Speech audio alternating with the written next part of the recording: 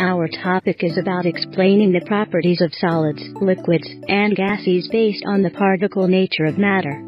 Let's begin.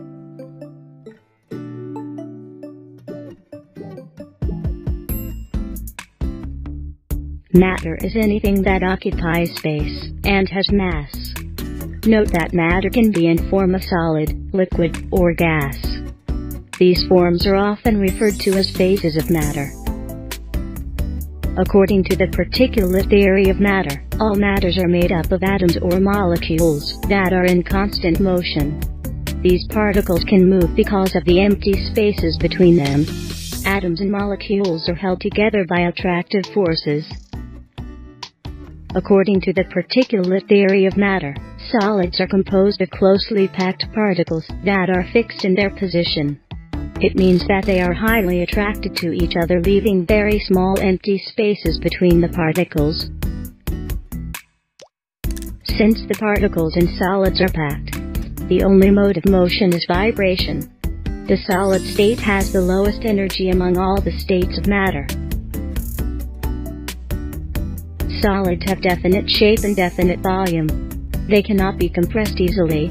They slightly expand upon heating. Let us now discuss how these properties are explained by the particle nature of matter. First, solids have definite shape and volume, because the attractive forces holding the particles together is strong enough to hold them fixed in their places. Second, solids cannot be easily compressed, because the spaces between particles are very small. According to the particulate theory of matter, liquids are composed of closely packed particles that can move freely. This is because of the empty spaces present between the particles. Attractive forces present in liquids are also relatively weaker compared to that in solids. The particles in the liquid state has higher energy compared to the solid state. Liquids have no definite shapes, but have definite volumes. They cannot be easily compressed, and can slightly expand upon heating. Let us now discuss how these properties are explained by the particle nature of matter.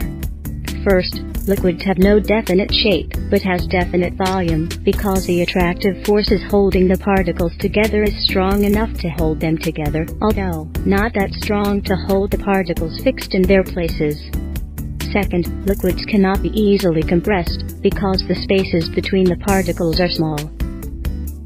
According to the particulate theory of matter, gases are composed of closely loose particles that can move freely. This is because of the wide empty spaces present between the particles. Gases have the weakest attractive forces among all states of matter. The gas state has the highest energy compared to the solid state. Gases have no definite shape and volume. Gases can be compressed appreciably, and can greatly expand upon heating.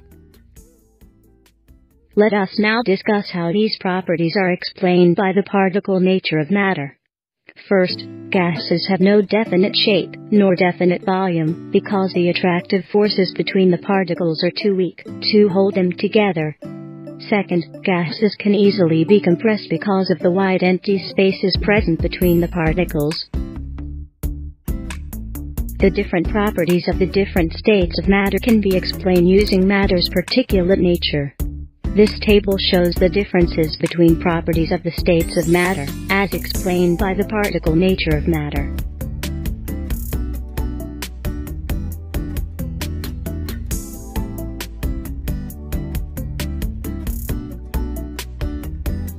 This is the end of the presentation. Thank you.